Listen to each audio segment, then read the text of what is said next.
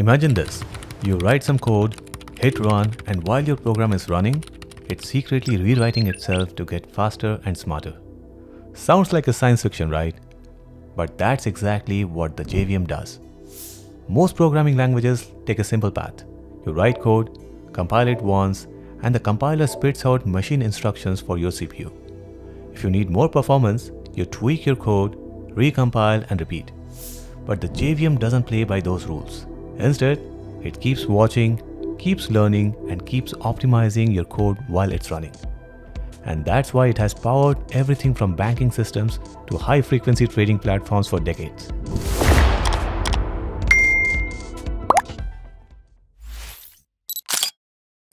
Let's start simple. Your computer doesn't understand Java, Kotlin, or Scala. It only understands machine code. Most compiled languages translate directly to machine code, but that ties you to one platform. Write it on Windows, and you may need to rebuild it for Linux or Mac. That's where the idea of a virtual machine comes in. A VM is like a universal translator sitting between your code and the hardware. Instead of talking directly to the CPU, your program talks to the virtual layer and the VM figures out the rest. The JVM takes a different route. When you compile Java or Kotlin, it produces bytecode, a platform independent format. Bytecode isn't raw machine code.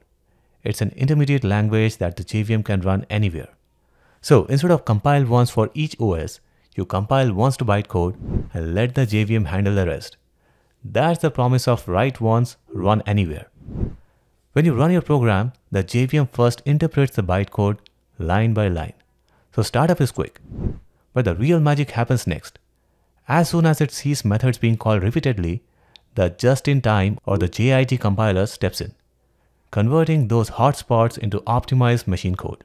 And this is where things get interesting. Unlike traditional compilers that do all the work upfront, the JVM is continuously profiling your code. If it notices a method is hot, it optimizes it. If patterns change, it can even de-optimize and recompile differently. It inlines small methods, unroll loops, eliminates dead code, and even shifts variables around to squeeze out more performance. In other words, your program isn't static. It's constantly being reshaped to fit how it actually runs in the real world. Think of it like a coach watching a game. Most compilers give you one strategy and hope it works.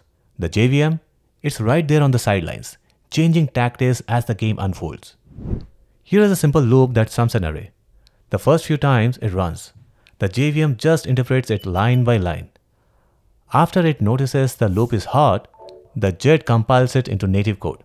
Then it gets clever. Bounds checks may be removed, the loop might be unrolled, and in modern JVMs, it could even be vectorized. The end result?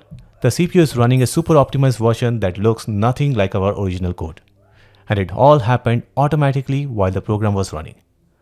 Now imagine this is happening not just in one tiny loop, but across every hot path in a massive application. That's why the JVM's approach is so powerful.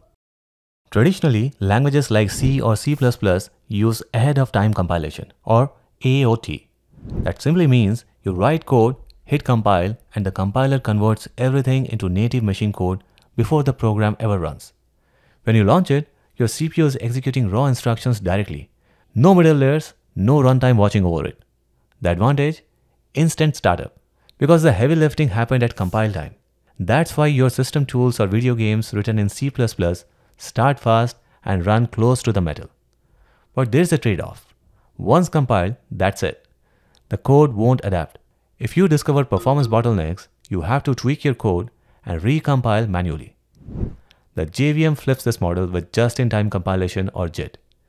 Instead of compiling everything upfront, it starts running right away. Then progressively compiles the parts that matters most. Over time, your app gets faster because the JVM learns from the real execution patterns.